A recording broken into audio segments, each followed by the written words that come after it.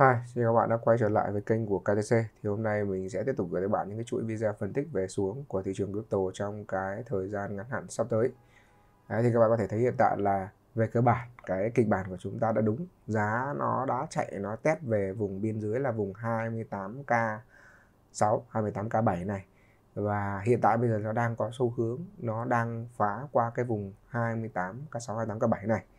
Đấy, thì hiện tại thì uh, xu hướng bán nó vẫn đang khá là mạnh mẽ. Ngày hôm trước ngày đầu đó hai ba ngày hôm trước thì nó còn đang lằng ngoằng khu vực này thì chúng ta cũng hơi lan tăn một chút. À, nhưng cái quan điểm của mình trước giờ vẫn chưa thay đổi đó chính là bên bán vẫn chiếm ưu thế và chúng ta vẫn sẽ gồng cái bên bán này.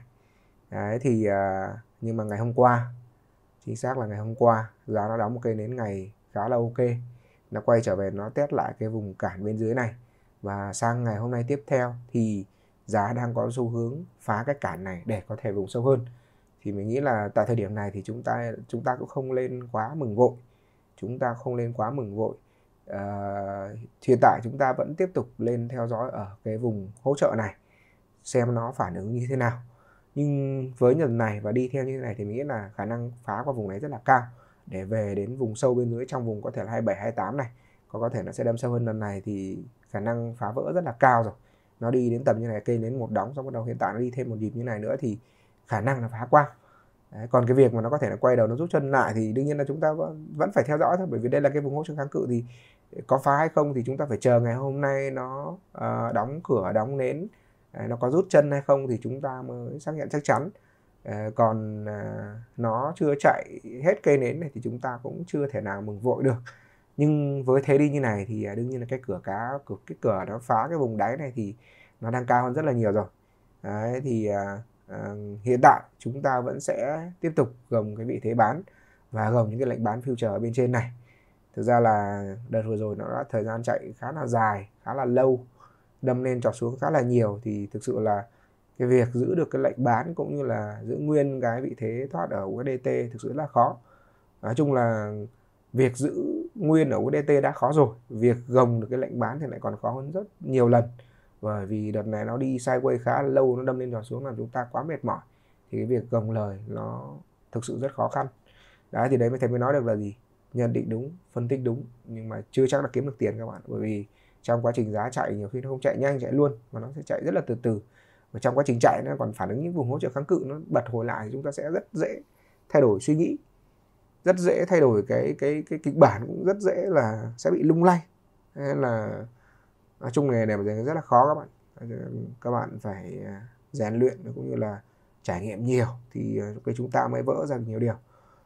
Rồi, ok à, nói qua một chút đấy thì nếu các bạn thấy video hay và ý nghĩa thì hãy cho mình một like, một đăng ký kênh và đừng quên nhấn quả chuông bên cạnh. Ngoài ra các bạn nhớ join nhóm telegram hoặc là facebook của mình có gì thì mình sẽ côn nhanh ở trong đấy mình sẽ uh, phím nhanh ở trong đấy. Thì các bạn nhớ nhớ do vào cái đấy. Đấy thì uh, sau đây thì chúng ta sẽ vào lại cái vấn đề chính ngày hôm nay đó chính là cái xu hướng của BTC trong cái thời điểm sắp tới. Thì đầu tiên chúng ta sẽ đến với biểu đồ D1 như mình đã nói biểu đồ D1 thì uh, uh, nó là một cây nến giảm cũng không phải là một cây quá mạnh đâu. Nhưng mà nó quay trở về nó test lại cái vùng hỗ trợ này và sang đến ngày hôm nay thì nó lại tiếp tục có một thêm một nhịp rồi hiện tại nó có thêm một nhịp rồi thì chúng ta thấy được là uh, biểu đồ D1 vẫn đang là một cái xu thế giảm rất là đẹp. Các bạn thấy được này trước mình đã vẽ đây các đại bản chất nhé đây nó là cái vùng sideways nó mới tạo ở khu vực 29k này. Nó lên test đây nó không phá được cái vùng này hỗ trợ kháng cự trước. Đấy, trước đó nhiều lần nó nó không phá được. Sau đó bắt đầu nó điều chỉnh nó giảm nó có một nhịp nó giảm về nó test về đáy. Trước nó đang đi ngang lên thì chúng ta kỳ vọng nó có thể nó quay về nó test đáy này. Và khi nó quay về test đáy này thì chúng ta sẽ kỳ vọng nó có thể nó phá được cái đáy này để về đến vùng sâu hơn nữa có thể vào sâu trong vùng 27 cho đến 28 và thậm chí có thể đi xa hơn nữa, đó chính là vùng 25 25 thì nó còn hơi xa thì chúng ta, trước mắt là chúng ta cứ để kệ nó bỏ qua đã. Trước mắt chúng ta sẽ để xem vùng 27 28 sâu trong vùng 27 28 thì nó sẽ phản ứng thế nào.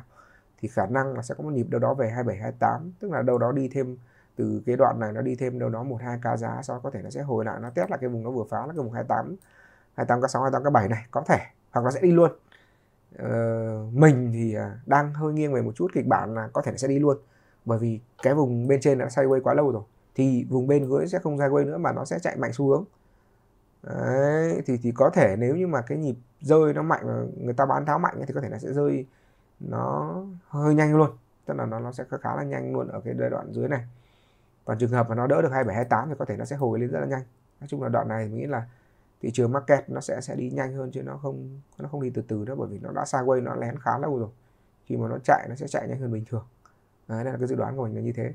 Đấy thì trên cái biểu đồ đến ngày bạn thấy được là uh, hiện tại cái xu hướng bán nó vẫn đang chiếm ưu thế và chúng ta thấy được là cái nhịp giảm rất là rõ ràng của giá. Đây.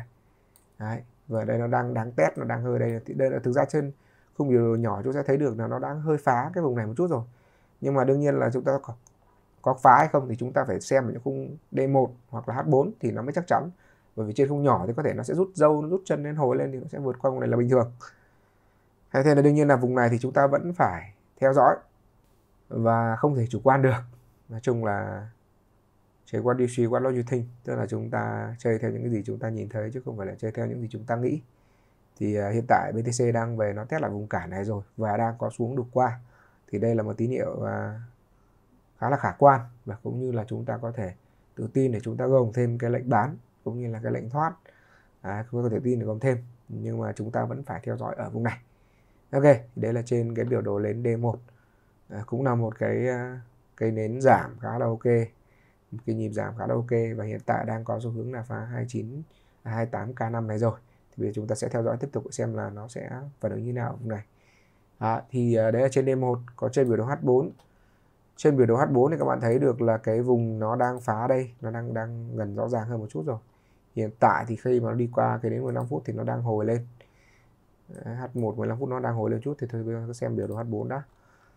À, trên biểu đồ H4 thì chúng ta thấy được là gì? Là nó đang có xu hướng nó phá qua. Nó đang có xu hướng nó phá qua. Đây các bạn đây.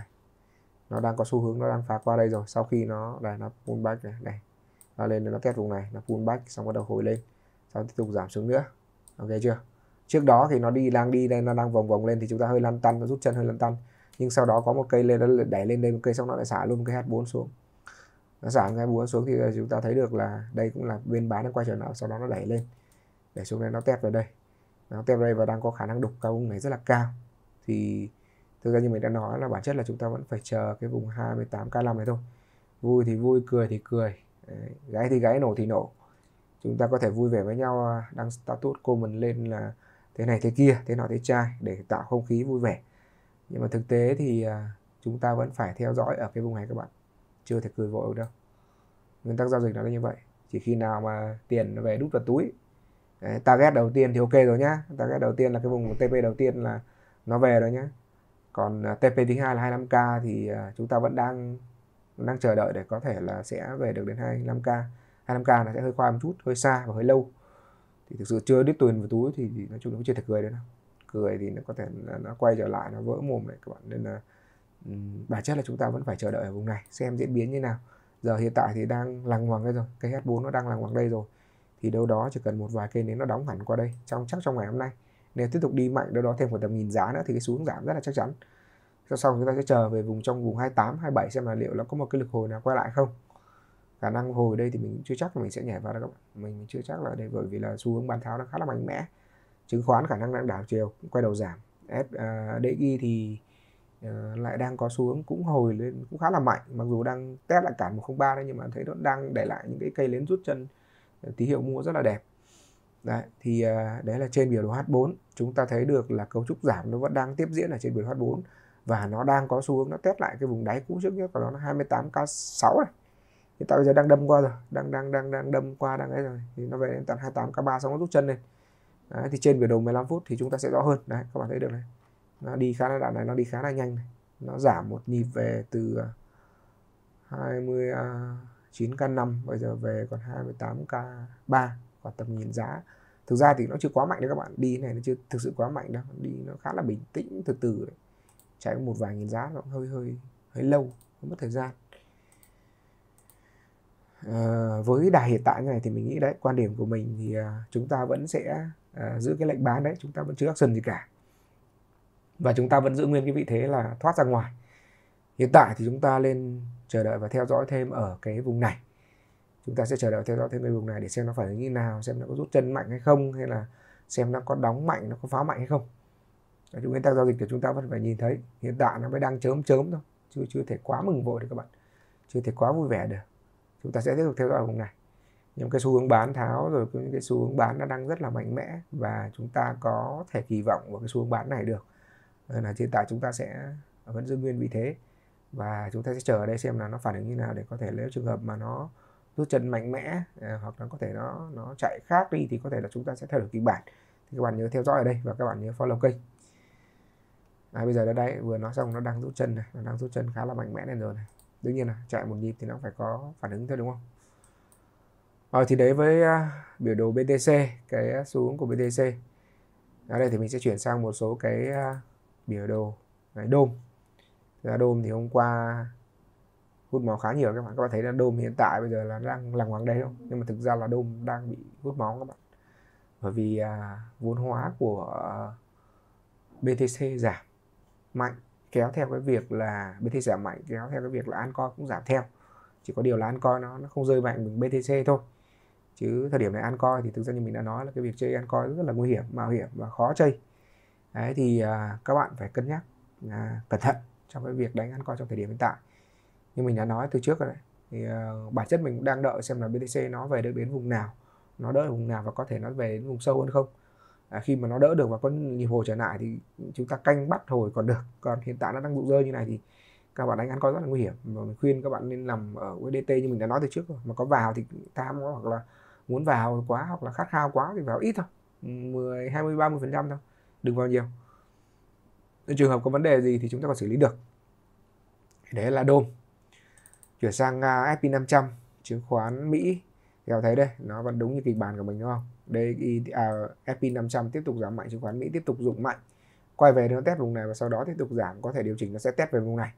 Là vùng à, 4.300 hoặc thậm chí có thể hơn là có vùng là vùng 4.100 này, này hoặc là vùng 4.000 quanh vòng này có khả năng vùng này nó sẽ test hẳn về vùng này. Tức là chứng khoán nó vẫn khả năng điều chỉnh về nguyên dưới. À, đấy là chứng khoán. Cái hướng đi của chúng ta vẫn đang à, phân tích đúng của chứng khoán.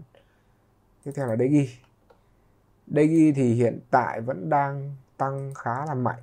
Đấy, các bạn thấy được cây nến này ngay rút chân này sau bắt đầu khang cây nến này vẫn bị đẩy xuống sau bắt đầu rút chân lên này. Đấy, nó bây giờ hiện tại nó đang ở vùng 103 nó test và đang hơi lình xình hơi phản ứng lên một chút. Với cái thế đi này thì cái cửa phá vẫn đang rất là sáng. Đấy, có thể đâu đó về 104 hoặc 105 trước ngày đầu công bố lãi suất. Đấy, thì hiện tại là DXY nó vẫn đang có uh, một cái nhịp tăng khá là tốt nó vẫn tăng khá là mạnh mặc dù là cái đà à, hồi nó cũng khá là xa rồi à, cũng chưa thấy điều chỉnh mạnh mẽ lắm nhưng có thể nó sẽ vẫn còn một cái nhịp tăng lên đây xong bắt đầu mới điều chỉnh. Đấy, thì lúc đấy là chúng ta có thể action với BTC được.